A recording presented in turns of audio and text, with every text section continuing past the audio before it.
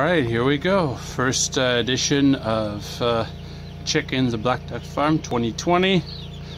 Just picked them up today at uh, 12 noon.